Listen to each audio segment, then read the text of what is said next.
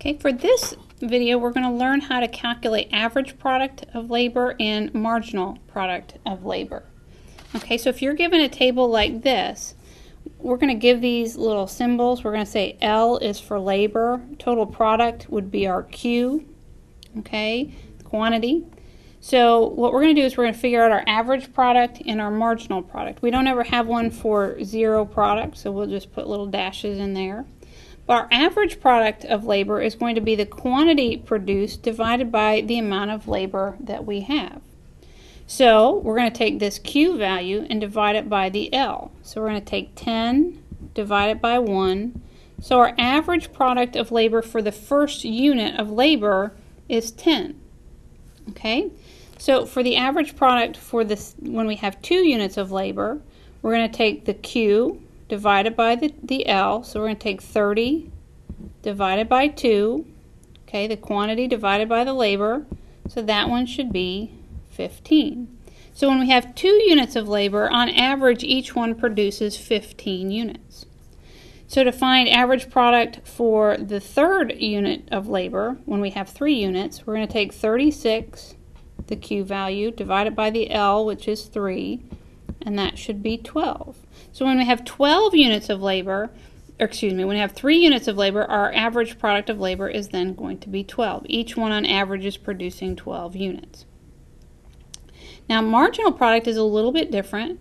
What we're trying to figure out is what does the first unit add to my production? Then we want to figure out what does the second one add to production and then the third.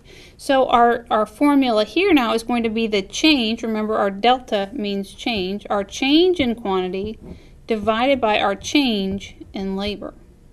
Okay, so again, we don't have one here. So we're going to say, okay, if we're moving from zero units of labor to one unit of labor, what is that first unit of labor going to add to my production? So we're going to take the change in total product, or the change in quantity, which is going to be 10 minus 0. So we're going to do 10 minus 0. Our change in labor is going to be 1 minus 0. So 10 divided by 1 is 10. So that first unit of labor adds 10 units to production. Now we want to figure out what does the second unit of labor add to production. So we're going to take the change in Q, which is 30 minus 10, taking this one minus this one.